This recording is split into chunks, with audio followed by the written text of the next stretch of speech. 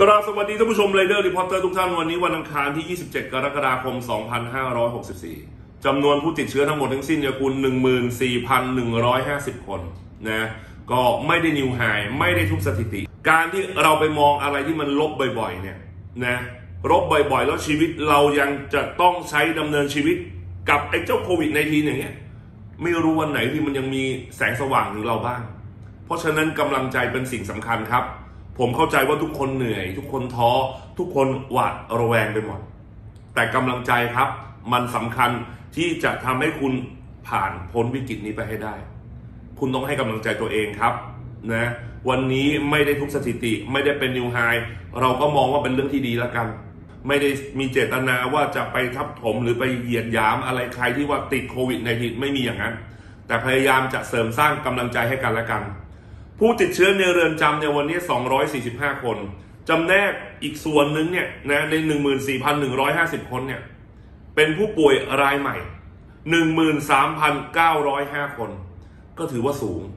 สูงไม่สูง แต่ก็สำคัญครับ อย่าลืมให้กำลังใจตัวเอง คุณสามารถท้อได้เหนื่อยได้ถอยได้ แต่คุณต้องสู้นะครับ ต้องสู้ต้องมีกำลังใจในการต่อสู้เพราะชีวิตยังต้องดำเนินต่อไป ส่วนผู้เสียชีวิตวันนี้ 118 ท่าน ก็ขอแสดงความเสียใจอย่างสุดซึ้งกับครอบครัวผู้เสียชีวิตด้วย แต่ถ้าพูดถึงบ้านเรานะวันนี้สายพันธุ์ที่ระบาดมากที่สุดคือสายพันธุ์เดลต้ารองลงมาคืออัลฟาและก็เบต้าแต่ที่จอคอหอยเราอยู่ที่มาเลเซียตอนนี้คือสายพันธุ์แลมด้าเขาบอกแลมด้าเนี่ยเป็นสายพันธุ์ที่ถูกจัดให้ตอนนี้ถูกว่าเป็นสายพันธุ์ที่น่าจับตามอง แต่ก็พร้อมเสมอ